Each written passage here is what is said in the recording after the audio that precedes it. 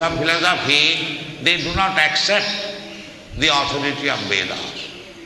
Although Lord Buddha is accepted as incarnation of Krishna, Kesavadhita Buddha Sarira, Jaya Jagadisha Hare. Uh, but for the time being, he did not accept the authority of Veda.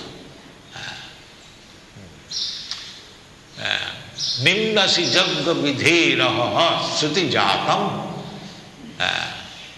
Lord Buddha was preaching ahimsa. So according to Vedic rituals there is prescription sometimes not always killing of animal so when Lord Buddha was preaching ahimsa no more animal killing the so called so-called Vedantis and Vedis followers, they said, why you are preaching in that way?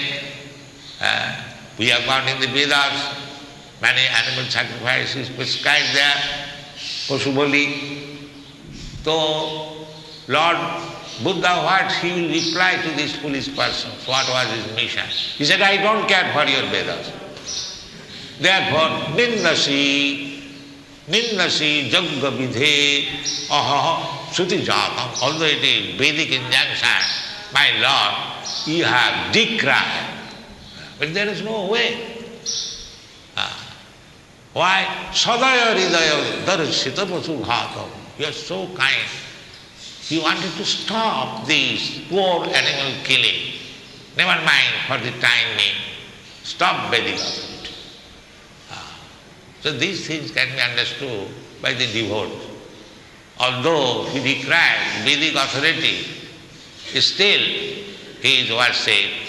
Kesavadita Buddha Sarira Jaya This is the understanding of the devotees. They know everything perfectly well, what is what.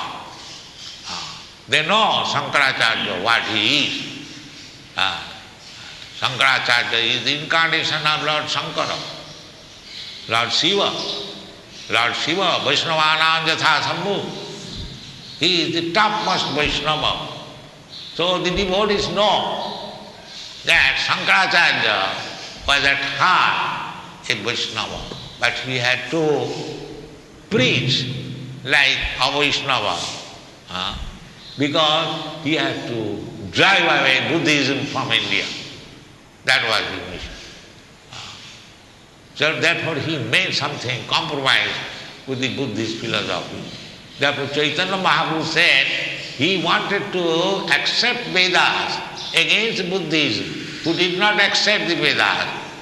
Uh, but he preached this atheism under the shadow of Vedas.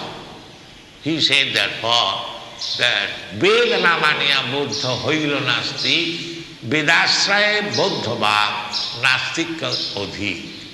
Uh, then these are the discussion one has to learn very cautiously. Uh, how, what is the purpose of why uh, Lord Buddha came why Lord Shiva and Shankaracharya came, why other acharyas came, why Chaitanya Mahaprabhu came. It requires thorough study under uh, able guidance. Then one can understand.